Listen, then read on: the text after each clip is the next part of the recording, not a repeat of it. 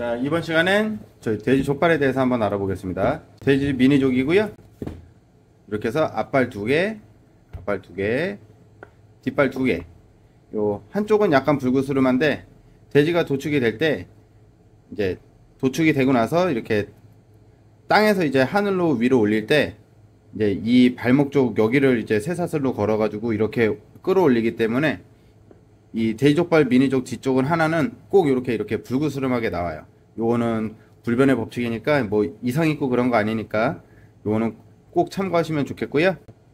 발골을 하실 때 이제 여기 관절을 먼저 이렇게 끊으셨던 분들도 있고 저는 이제 발을 잡고 이렇게 돌리면서 이제 발골하는 스타일이라서 이제 이렇게 나와 있, 남아 있는데 요거를 그냥 저는 그냥 골짜기로 이렇게 잘라요.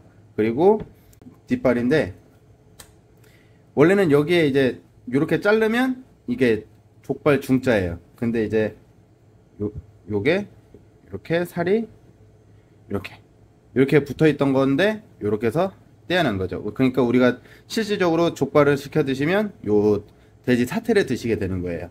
자, 이쪽도 마찬가지로 이렇게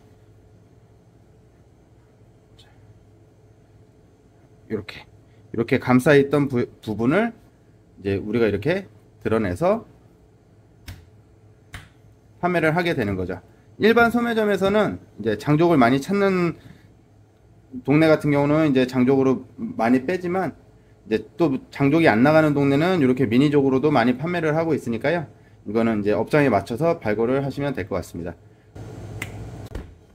자, 이제 뼈를 잘라 가지고 왔고요. 이제 손질 같은 경우에는 잘 보시면 털 나 있는 방향이 있어요. 이 반대 방향으로 해서 밀어 주시면 되고요. 우선 해야 될 것이 이 발가락과 발가락 사이 여기를 먼저 해서 잘라서 끊어 주셔야 돼요.